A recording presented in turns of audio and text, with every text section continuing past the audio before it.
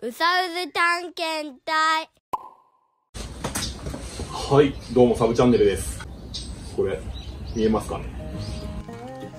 はい、えっ、ー、とね、アヒルの糞とかをね、掃除していた場所なんですけど、そこからトウモロコシみたいなのがね、少し前から生えてて、いや、トウモロコシ生えてきたんかなと思って、しばらく放置してね、見ていたらこういうね、植物でした。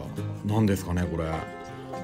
うん一見なんかねトウモロコシみたいなつぼみができて開いたと思ったら花が咲いてでちょっとね細かいね種みたいなのが中にね入ってるんですけどまだね完璧には熟してないというか乾燥してない状況なのかな。でも葉っぱとか見るとねほんとトウモロコシと同じような感じですね。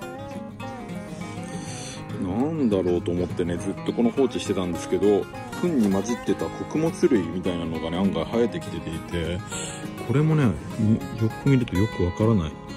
あれですね。なんだろうこれ。見たことがない。なんかなってんなでも種みたいなのが。なんすかね。やっぱ餌に含まれてるもんすかね。うずらの糞とかもここで洗ったりしてたから。それかもな。収穫してみるかこれ。これはもうこんなでかくなって一応2本生えてるんですけどアヒルの糞からね、えーこうやって植物が生えてきたのかなと思うとね。なんかちょっと感慨深いものがありますね。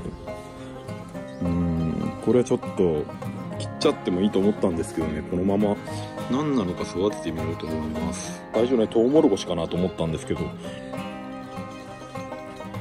トウモロコシでもないしちょっと花がね開き始めましたねこれ。何ができるのか分かる人がいればなんかねコメントとかいただければと思います。なんか得体の知れないものが、ね、いっぱい入ってきてるんで。これはねおそらくトマト。こ